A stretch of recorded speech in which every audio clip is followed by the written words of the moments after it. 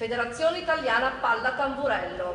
La passione per lo sport del tamburello è nata in lui nel 1959 che fu un'annata storica per la squadra goitese che vinse il suo secondo titolo di campione nazionale di prima serie, l'attuale Serie A.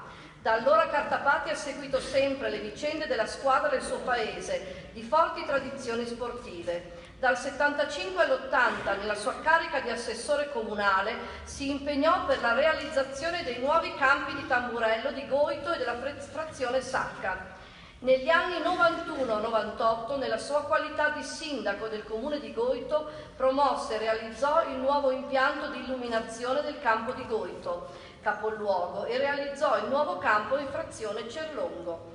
Nel 1999, dopo l'approvazione del nuovo statuto per renderlo conforme a quello delle altre federazioni riconosciute dal CONI, Cartapati è stato eletto presidente del comitato regionale di nuova istituzione, carica nelle, nella quale è stato poi riconfermato fino ad oggi. Come Presidente del Comitato regionale si è molto impegnato per lo sviluppo ed il miglioramento dell'organizzazione sportiva del tamburello, con una particolare attenzione al settore giovanile. Forte e costante è stata la sua collaborazione del Comitato presieduta da Cartapati con le società lombarde e con i comitati provinciali.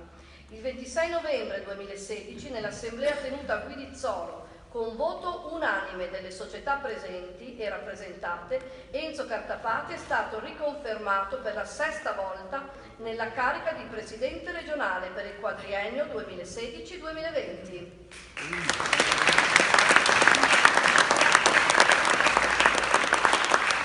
Congratulazioni Luca Enzo Cartapati per la stella di bronzo al merito sportivo.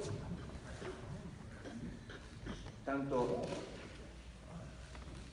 inviterei tra qualche istante il questore di Mantova, dottor Paolo Sartori, che prenderà il posto del viceprefetto Araldi per le prossime